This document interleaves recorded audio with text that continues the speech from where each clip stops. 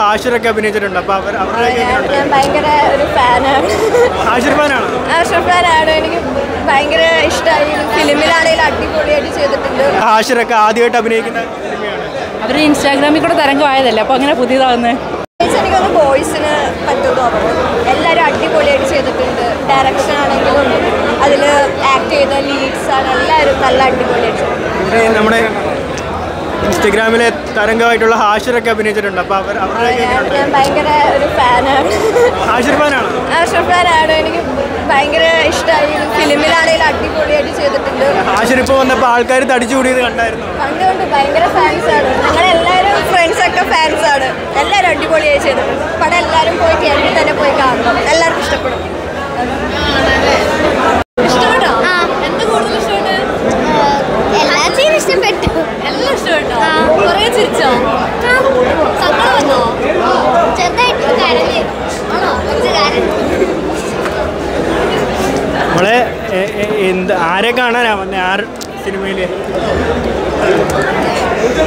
അത് പറയാൻ പറ്റത്തില്ല. എല്ലാവരും എങ്കിലും മോക്ക് ഇഷ്ടപ്പെട്ട ഒരാളുണ്ടല്ലോ ഈ സിനിമയിൽ?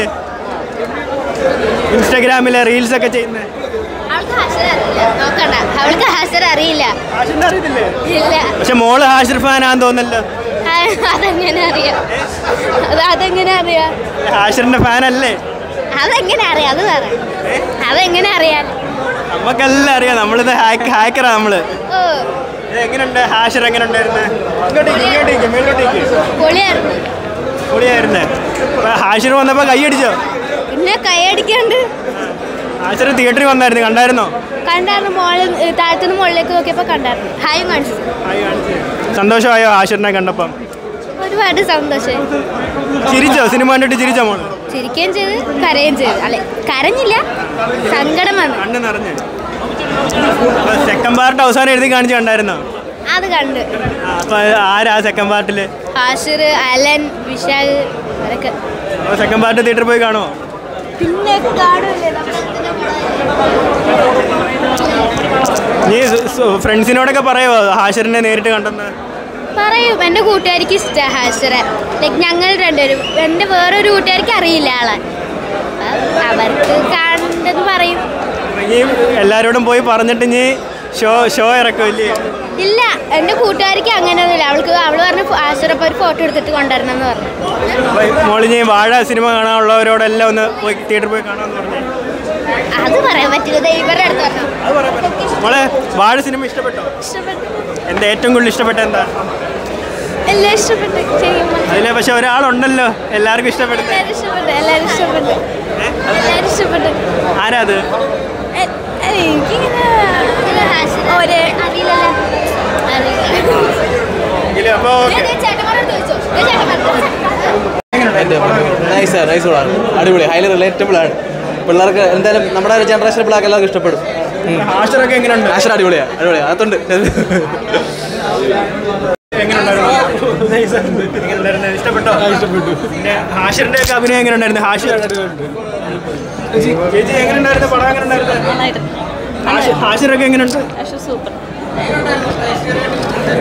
എങ്ങനെയുണ്ടായിരുന്നു വാഴ? നല്ല സിനിമയായിരുന്നു നമുക്കൊക്കെ റിലേറ്റ് ചെയ്യാൻ പറ്റിയതായിട്ടുള്ള ഇതായതുകൊണ്ട് നമുക്ക് എൻജോയ് ചെയ്യാൻ പറ്റി. പ്രത്യേകിച്ച് ആ ലാസ്റ്റ് സീനൊക്കെ നല്ലതായിരുന്നു.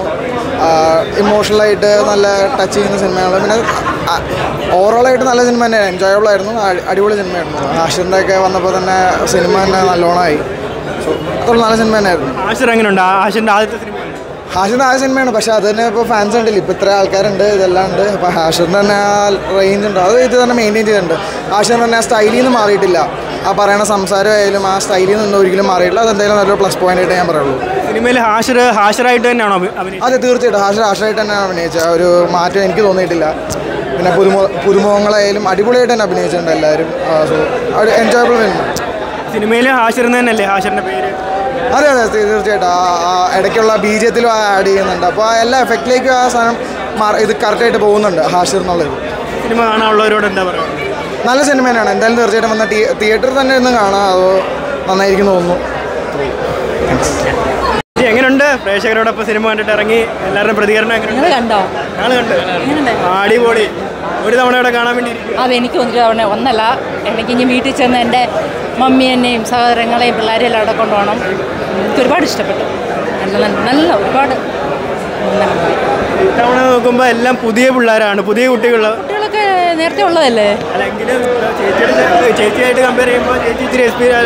ഓ എനിക്കൊരു എക്സ്പീരിയൻസ് ഇല്ല. എനിക്ക് എന്റെ എല്ലാ പടവും പുതിയതാണ് ഇൻസ്റ്റാഗ്രാമിലൊക്കെ തരംഗമായിട്ടുള്ള ഹാഷിറൊക്കെ ആദ്യമായിട്ട് അഭിനയിക്കുന്ന അവർ ഇൻസ്റ്റാഗ്രാമിൽ കൂടെ തരംഗമായതല്ലേ? അപ്പോൾ അങ്ങനെ പുതിയതാകുന്നത് സിനിമയിൽ അവർക്ക് അത്ര എക്സ്പീരിയൻസ് ഇല്ലല്ലോ. എല്ലാവരും നന്നായിട്ട് ചെയ്തിട്ടുണ്ട്.